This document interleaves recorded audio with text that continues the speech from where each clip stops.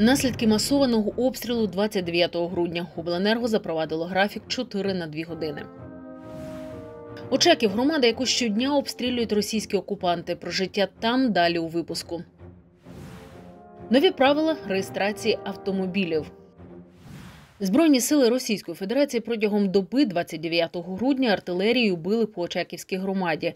Воскресенську громаду обстріляли ракетами. Там пошкоджено об'єкт інфраструктури.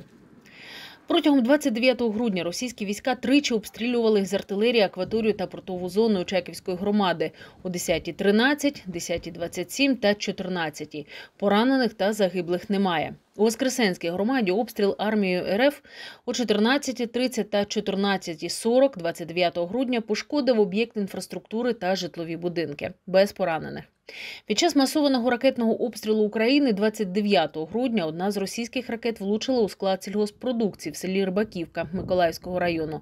Там також немає загиблих та поранених. Протягом доби 29 грудня по території України російські війська завдали 85 ракетних та 35 авіаційних ударів, а також здійснили 63 обстріли з реактивних систем залпового вогню. Про це повідомляє Генеральний штаб збройних сил України в ранковому зведенні 30 грудня. Втрати російських військ станом на 30 грудня. Особовий склад близько 105 тисяч 250 осіб. Танки 3026 одиниць, бойові броньовані машини 6059 одиниць, 2010 артилерійських систем, 423 реактивні системи залпового вогню, 212 засобів протиповітряної оборони, 283 літаки, 1740 безпілотних літальних апаратів, 268 гелікоптерів.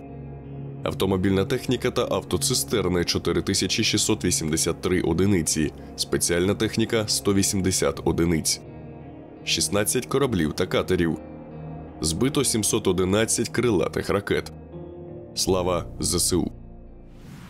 В бюджеті Миколаївщини на 2023 рік передбачено 1 мільярд 600 мільйонів гривень, зібраних з податків та зборів з доходів фізичних осіб. Видаткова частина визначена у розмірі понад 2 мільярди гривень з урахуванням державних субвенцій. Їх направлять на наступні галузі: освіту, охорону здоров'я, соціальний захист та соціальне забезпечення, культуру і мистецтво, фізичну культуру та спорт та державне управління. Субвенції з держбюджету плануються у сумі понад 448 мільйонів, що майже у 2,5 рази менше ніж було заплановано на 2022 рік. Абсолютно всі галузі отримують наступного року менше грошей. Пов'язано це в першу чергу із проведенням бойових дій на території країни. Резервний фонд обласного бюджету на 2020 2023 рік заплановано у сумі 55 мільйонів 100 тисяч гривень. 11 година у місті лунає сигнал повітряної тривоги. Двори порожні, люди спустились у підвали. Ви завжди так на тривогу реагуєте відповідально? Так. А чому? Ну дуже небезпечно. Реакція така. Часто насипають вам? Так. Декілька разів на, на день. Вибрация домов очень сильно существенно. И проломлена в этом доме крыша уже как бы от удара СЗО, и поэтому очень тяжело. Как реакция у всех людей. Здесь в этом доме около 25 человек собирается, когда ну, какая-то без- не- небезопасная ситуация, то около 25 человек, в основном все пенсионеры, кто остался, вот такие люди, находятся в этом убежище. На місцевому ринку наслідки влучань касетними снарядами. Тут згорів магазин, пошкоджено частину торговельних точок. Зачепило і майстерню Віктора. Чоловік говорить, якби не охоронець, який вчасно викликав рятувальників, то згоріло б набагато більше. Я уже все сделал. Тут, тут осталось только написать, что ремонт обуви, все. А так обгорел угол, крыша вся была внутри, потолок. Ну, окон не было, вот тут сделал, двери выгнуло. Когда воздушная тревога, вот у нас подвал частный. Сразу бегем, ну, люди, кто на рынке, стараются сюда в подвал спрятаться от обстрела. Крім касетних снарядів з реактивних систем залпового вогню, по Очакову били ракетами. Як приклад, 4 вересня один калібр поцілив в Очаківське хлібоприймальне підприємство. Всего 7 складов и один бук- бункер на 1000 тонн. Это в 2000 году был построен, вот видите, что от него осталось. А на вот этом месте был склад. И как раз вот четко в него был приход ракеты. Его снесло полностью, это мы уже расчистили. Очаківське хлібоприймальне підприємство або елеватор, ще як його називають, е, було єдине підприємство, яке з моменту його створення, це ще до воєнні часи, до Другої світової війни, не на день не зупиняло своєї роботи. Другий калібр розірвався тут, над одним із місцевих кладовищ. Наступного дня російська сторона у своєму зведенні повідомила, в результаті нанесення ракетних ударів знищено кілька одиниць реактивних артилерійських систем «Хаймарс». До початку повномасштабного вторгнення в Очакові проживало понад 15 тисяч людей. На сьогодні близько 12 тисяч. На зимовий період спостерігається ем, дещо збільшення е, населення. Ми бачимо це по отриманим продуктовим наборам, по кількості людей на вулицях. Очаків обстрілюють з території тимчасово окупованої Кінбурнської коси, відстань до якої від крайньої точки міста до 5 кілометрів. Тому часто тут вмикають сигнал повітряної тривоги вже після перших вибухів.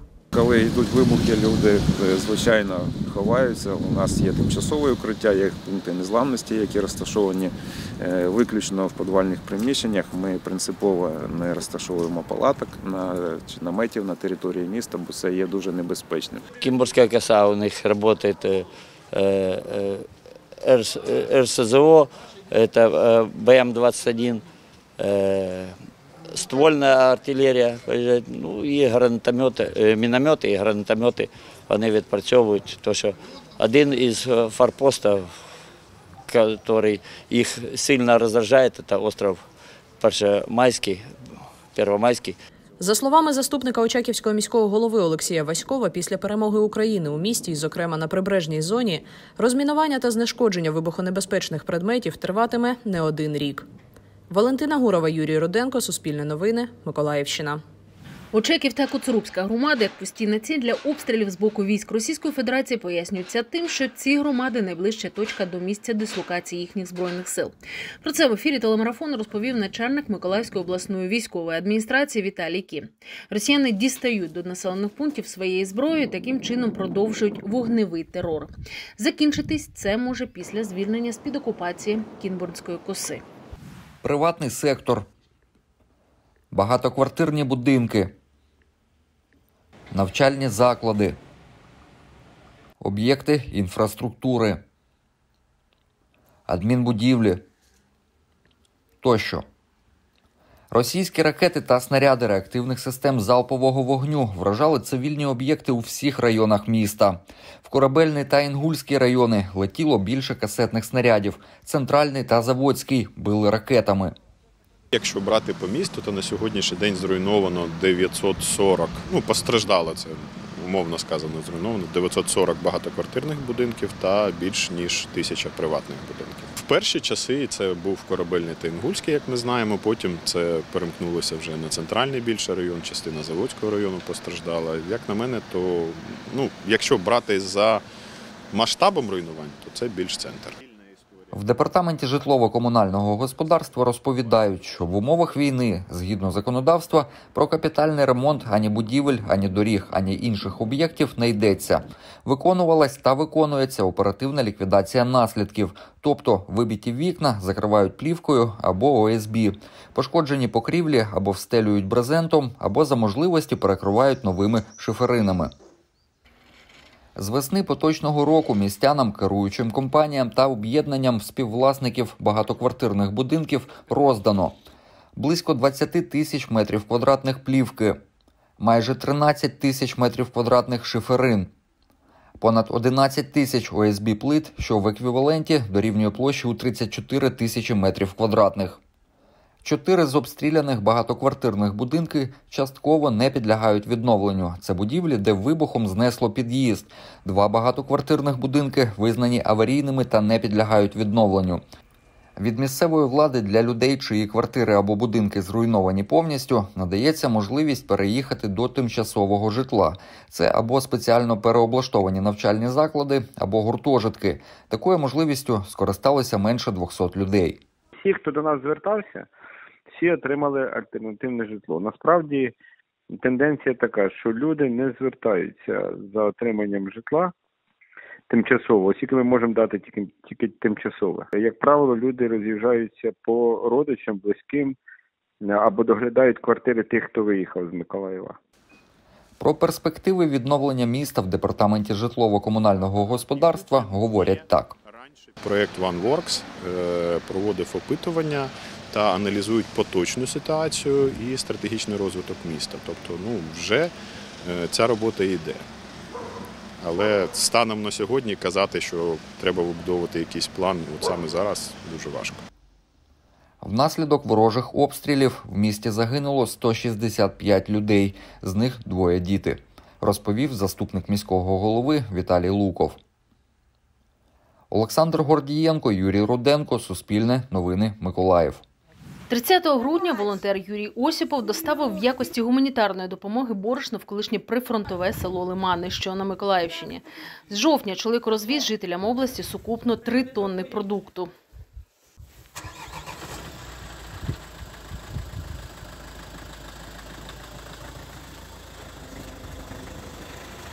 Передостанній день цього року, що минає, волонтер Юрій до нас привіз тонну муки, яку ми розподілимо обов'язково після новорічних свят нашим жителям, пофасуємо, видамо і відзвітуємо. Ми беремо.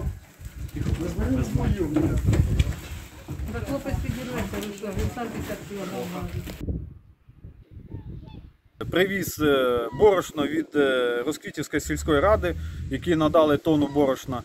Е, Приїхали сюди, були люди, які допомогли нам розвантажити. Тобто, е, це я другий раз тут їхав на Херсон і випадково сюди заїхав і побачив, що людям потрібна допомога.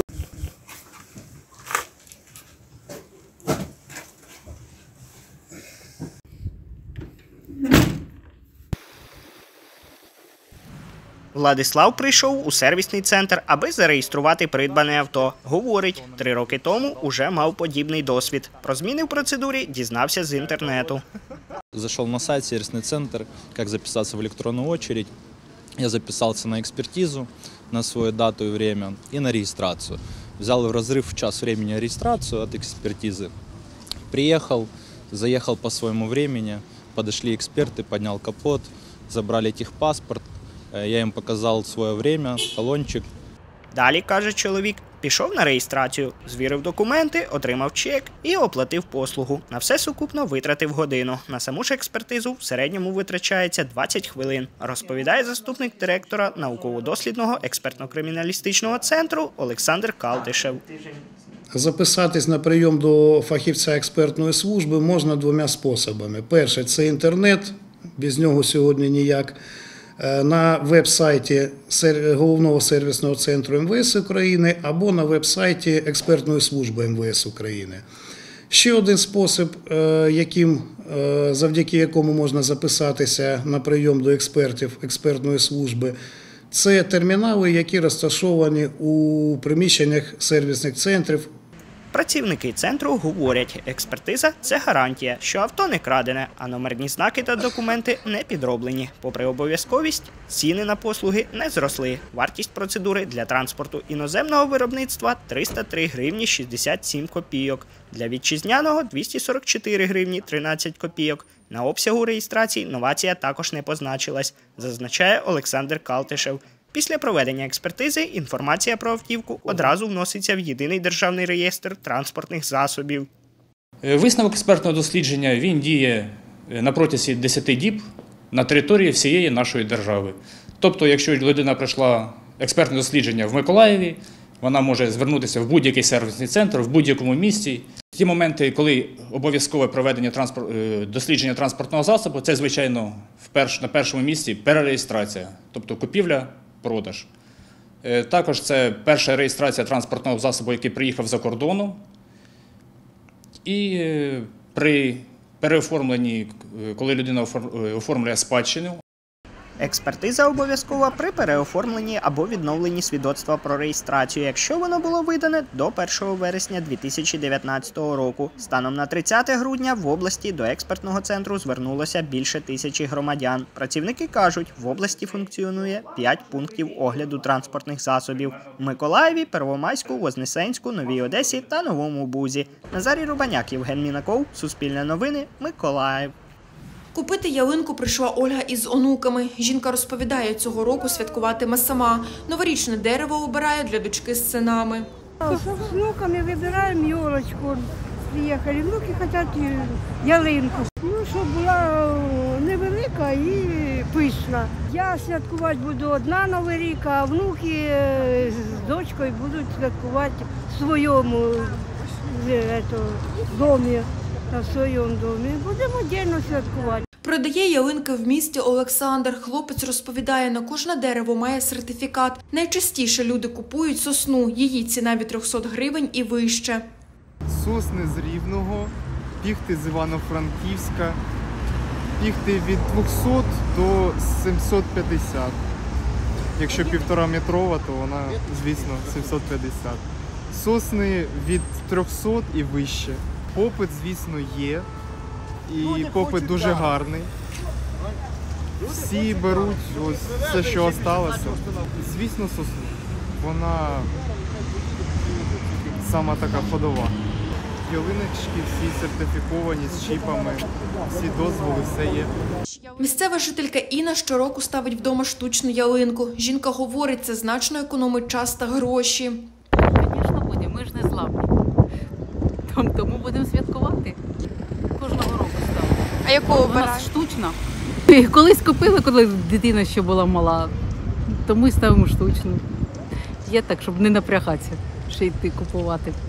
Кожен рік Національна поліція з екологічною інспекцією, а також державним лісовим господарством підписує спільний план заходів щодо протидії незаконній порубці дерев, в тому числі хвойних, розповідає Олена Бишай, працівниця Національної поліції у Миколаївській області. Цьому році також перед початком е, новорічних свят була така зустріч. На зустрічі обговорено питання щодо яким чином ми повинні діяти, як це повинно проходити. За результатами цього е, прийнято рішення щодо створення на території Миколаївської області 107 е, точок місць продажу хвойних е, дерев, е, де реалізується ну відповідна продукція.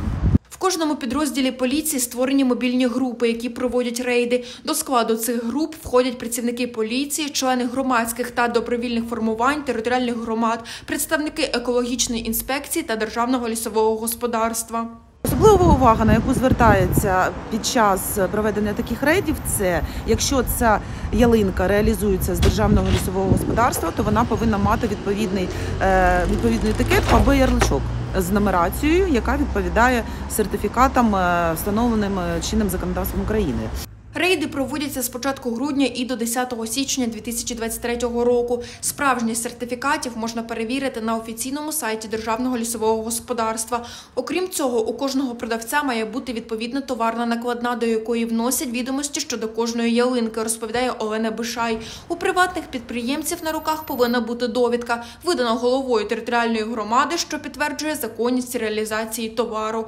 Єлизавета Кротик, Суспільне новини, Миколаїв.